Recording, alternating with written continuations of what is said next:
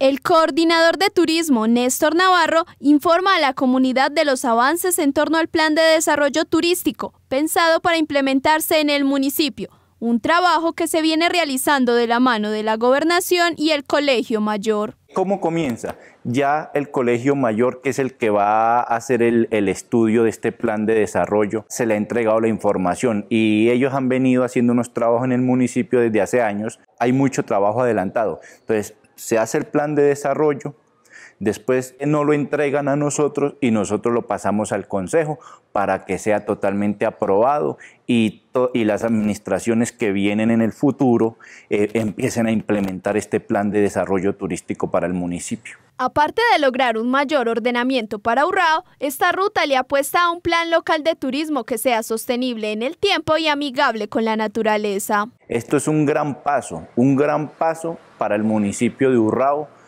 Hoy se firma ese convenio y se empieza este plan de desarrollo que va a beneficiar realmente al municipio de Urrao. Y como le digo y siempre recalco, la sostenibilidad ante todo, para que no sea un turismo depredador. Uno de los objetivos a cumplir tras este plan de desarrollo es el tener claridad en torno al camino que tiene que tener Urrao para poder convertirse en un municipio turístico, identificando qué es aquello que debe implementar la administración y el sector privado, impulsando los medios para lograr que este mismo sea un eje de desarrollo económico y social.